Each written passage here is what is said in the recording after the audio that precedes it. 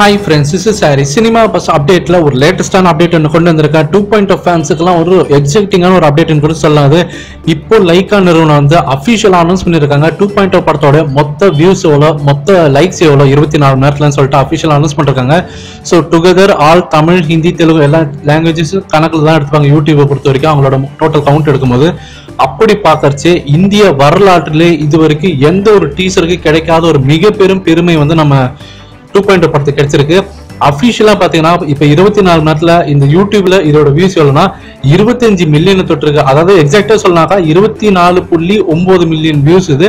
அதை நம்ம தோராயமா இருபத்தஞ்சு மில்லியன் எடுத்துக்கலாம். அதாவது ரெண்டரை கோடி பேர் பார்த்துருக்காங்க இருபத்தி நாலு மணி நேரத்துல இந்த டீசரை வியூஸ் இவ்வளவு வந்திருக்கு. அதே மாதிரி லைக்ஸ் பாத்தீங்கன்னா ஒன் மில்லியன் லைக்ஸ் வந்திருக்கு. மூணு லாங்குவேஜும் சேர்த்து. இது ஒரு மிகப்பெரிய ஒரு மேசிவான ஒரு ரெக்கார்டு இது.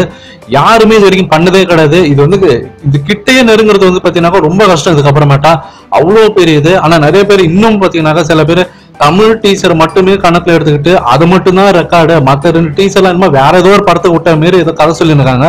பட் ஆனால் யூடியூப் ரெக்கார்டுன்னு எடுத்தீங்கன்னா கவுண்ட் பண்ணாக்கா மூணு லாங்குவேஜும் சேர்த்து தான் பண்ணுவாங்க.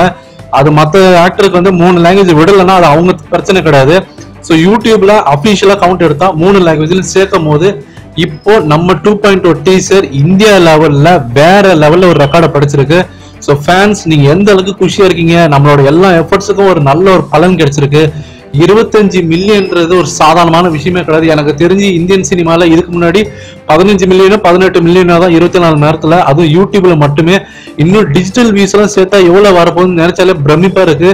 ஸோ ஆனாலும் சங்கர் சாருக்கு கண்டிப்பாக ஒரு மிகப்பெரிய ஹேட்ஸ் ஆஃப் தான் சொல்லணும். ஏன்னா அவர் கண்டிப்பாக செம தில்லுங்க ஒரு அஃபிஷியலாக வரதுக்கு முன்னாடியே லீக் அவுட் ஆன ஒரு டிசிலே திருப்பி அதையே வந்து அஃபிஷியலாக விட்டு இப்போ இந்தியன் சினிமாவே பார்த்தீங்கன்னாக்கா மிரல்ற அளவுக்கு ஒரு புது ரெக்கார்டை படைச்சிருக்காங்கன்னா சான்ஸே கிடையாது. ஸோ ஃபேன்ஸ் நீங்கள் கீழே கமெண்ட் பண்ணுங்கள் எந்த அளவுக்கு உங்களுக்கு இந்த டீசர் பிடிச்சிருக்கு? எந்த அளவுக்கு நீங்கள் வந்து ஹாப்பியாக இருக்கீங்கன்னு சொல்லிட்டு நீங்கள் கீழே கமெண்ட் பண்ணுங்கள் ஃப்ரெண்ட்ஸ்